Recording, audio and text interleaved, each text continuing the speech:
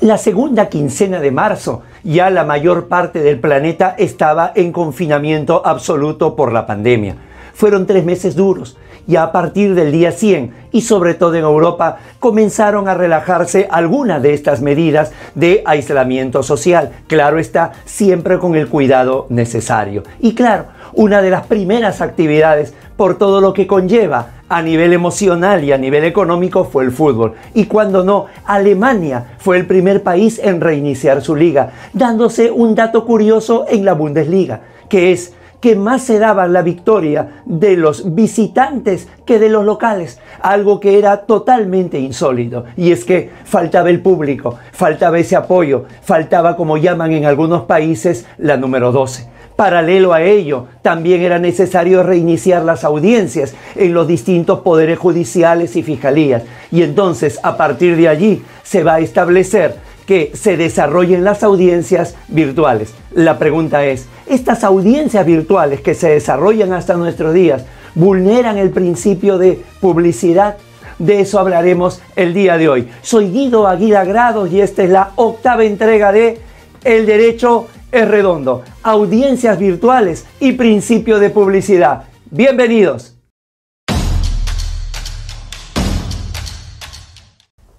No vamos a negarlo pierde color.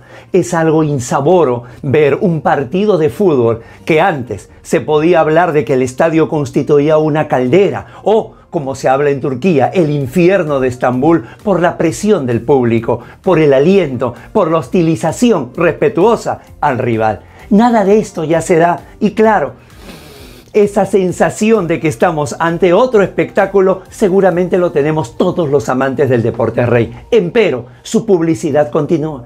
Continúan las transmisiones, de tal manera que el gran público que veía el fútbol por televisión lo sigue viendo y sigue escrutando y sigue opinando del árbitro y sigue viendo cada gesto del entrenador y cada actitud de los jugadores. Con lo cual, digamos, el principio de publicidad, vamos a colocarlo entre comillas, no ha variado. Lo preocupante es definitivamente lo que se da a nivel judicial. Esto es, si bien es cierto, hay la necesidad de continuar las audiencias, que las condiciones de salubridad que tiene que garantizar el Estado determina de que no se desarrolle de manera presencial en la mayoría de casos. Perfecto.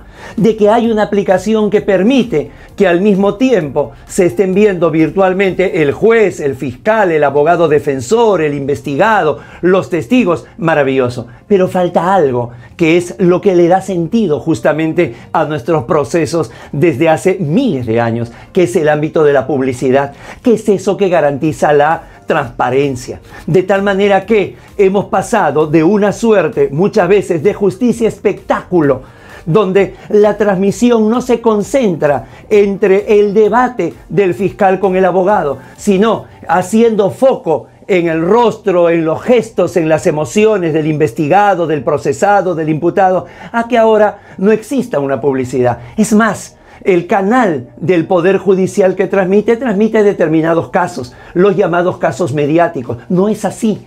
El canal del Poder Judicial de una entidad del Estado debe estar para eh, poder dar publicidad más bien a aquellos procesos que los medios de comunicación no le, no le encienden los faroles y a partir de allí entonces debía darse esa horizontalidad en el trato a todos.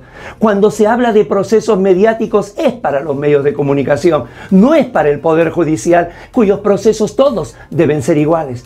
Y tranquilamente, no se necesita ser Bill Gates ni Steve Jobs para eso. Se puede establecer un programa al que cualquier ciudadano puede acceder en tiempo real a la audiencia para poder visualizar la actuación del fiscal, la actuación del abogado, pero sobre todo la actuación del juez. Deja un sinsabor. Se entiende que se hacen los mejores esfuerzos, pero insisto, no es suficiente y deja la sensación de que podría ser mejor. Hacemos votos para que se recupere este principio de publicidad, para que estas audiencias virtuales sean absolutamente abiertas. Así cuidamos la salud pública, pero también la salud del proceso. Que se vea, que lo vean todos como lo ve el fútbol, porque finalmente el derecho es redondo. Nos vemos pronto.